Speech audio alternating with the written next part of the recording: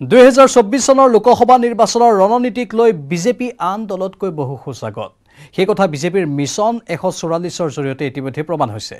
ইয়াৰ মাজতে অসমৰ বেলিকা চৈধ্যখন লোকসভা আসনৰ বাৰখনত নিজে প্ৰতিদ্বন্দ্বিতা কৰি মিত্ৰদললৈ দুখন আসন এৰাৰ ইংগিত দি বৃহৎ ঘোষণা ৰাজ্যিক বিজেপিৰ সভাপতি ভৱেশ কলিতাৰ।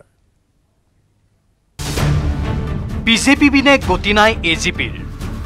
বিজেপিৰ বুকুচাত উঠি অস্তিত্ব ৰক্ষাৰ যুঁজ অগপৰ বিগ ব্ৰাদাৰৰ মৰম বিচাৰি হাবুডুবু অগপৰ ইয়ে বিগ ব্ৰাদাৰ হিচাপে আমাক নিশ্চয় পৰৱৰ্তী সময়ত তেওঁলোকেও নিশ্চয় চিন্তা কৰিব কাৰণ আঞ্চলিক দলটোক জীয়াই ৰখ ৰখাৰ দায়িত্বও কিন্তু বিজেপিৰো আছে।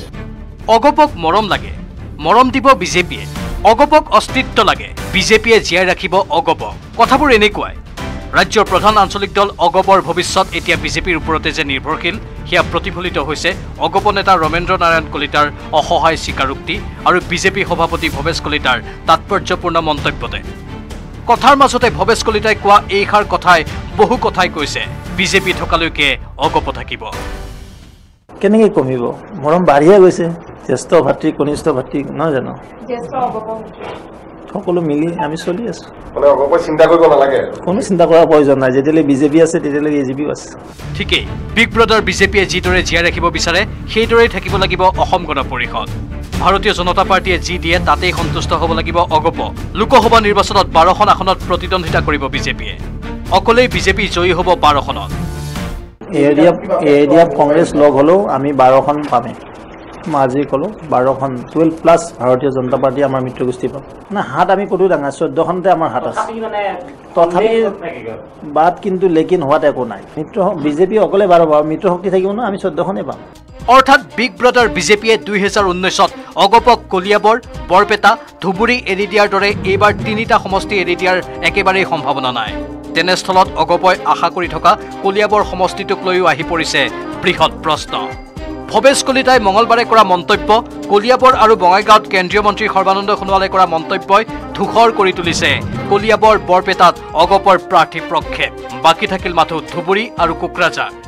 বিজেপিয়ে ধুবুৰীক লৈ বৰ বিশেষ যে মূৰ মাৰিছে সেয়া এই মুহূৰ্তত বৰকৈ প্ৰতিফলিত নোহোৱাৰ পৰিপ্ৰেক্ষিতত অগপৰ বাবে নিচুকনি হিচাপে থাকিব পাৰে ধুবুৰীহে।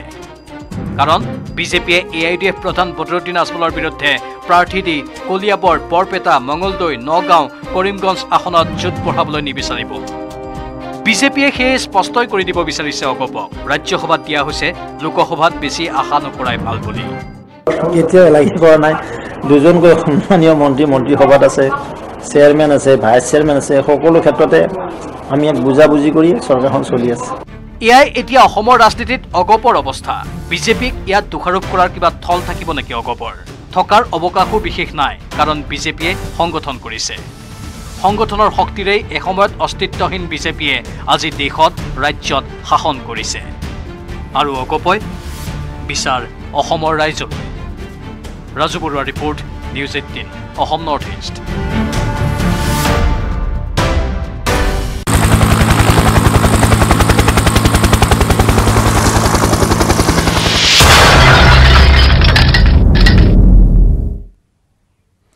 দেৱভূমিত মৃত্যুৰ কিৰিলি হেলিকপ্টাৰ দুৰ্ঘটনাগ্ৰস্ত